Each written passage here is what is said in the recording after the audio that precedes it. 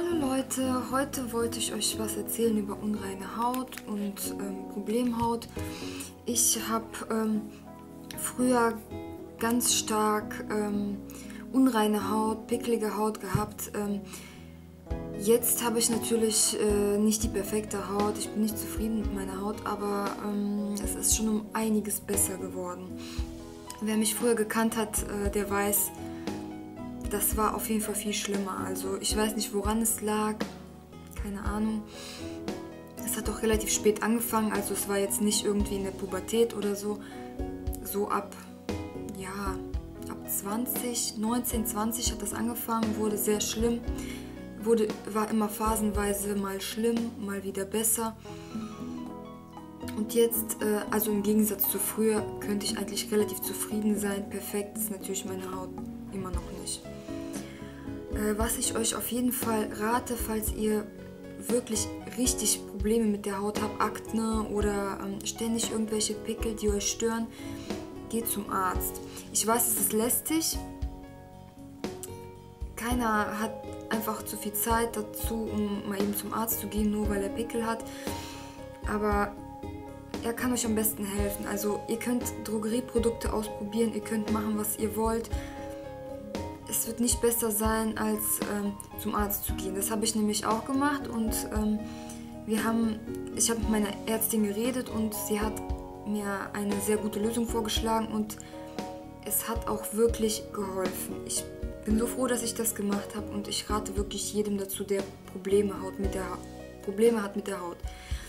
Ja, ähm, was natürlich jetzt ähm, das andere Thema ist, sind, ist eher die Haut, äh, die nur ab und zu Pickel hat oder die jetzt ab und zu ein bisschen, ja, weiß ich nicht, nicht mehr so frisch ist oder so. Ich denke, keiner ist wirklich hundertprozentig zufrieden äh, mit seiner Haut. Ganz wichtig ist immer, für die Mädels vor allem, abschminken. Für die Jungs natürlich auch, vor allem falls ihr unreine Haut habt. Gesicht reinigen, morgens und abends. Auf jeden Fall, das, das muss sein, finde ich. Also und an die Mädels nochmal abschminken, auch wenn ihr nach Hause kommt, ist es sehr spät, ihr habt keine Lust, ihr wollt ins Bett.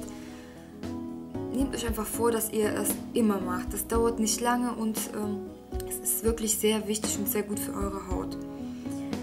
Ja, ähm, ich habe jetzt vor allem das Problem, ich habe sehr trockene Haut und zu Unreinheiten neigende Haut.